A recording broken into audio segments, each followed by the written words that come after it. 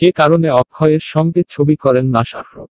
শাহরুখ খান ও অক্ষয় কুমারকে যদি আবার একসঙ্গে অভিনয় করতে দেখেন তাহলে আপনার কেমন লাগবে?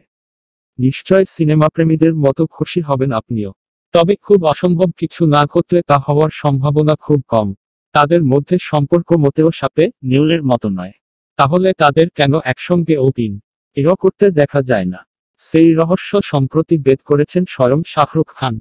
শাহরুখ ও অক্ষয় দুজন দুই ধরনের জীবনধারায় অভ্যস্ত। অক্ষয় যদি ভোরের পাখি হন, তাহলে শাহরুখ নিশ্চিতভাবে রাতের পাখি।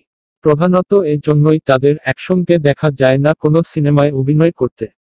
সম্প্রতি একটি সংবাদ মাধ্যমের পক্ষে অক্ষয় কুমারের সঙ্গে সিনেমা করার বিষয়টি নিয়ে কিং খানকে প্রশ্ন করা হয়। উত্তরে শাহরুখ বলেন, আমি কি করে এ কথার উত্তর দেব? আমি ওর মতো অত সকালে উঠতে পারি না। আমি যখন ঘুমতে যাই তখন ঘুম থেকে উঠে পড়েও এরপরই শাহরুখ নিজেকে নিশাচর বলেছেন। তবে শাহরুখ বলেছেন, আমি আর অক্ষয় একসঙ্গে কোনো সিনেমায় অভিনয় করলে শুটিংয়ের ব্যাপারটা খুব ইন্টারেস্টিং হবে। কারণ কখনোই আমাদের সেটে দেখা হবে না।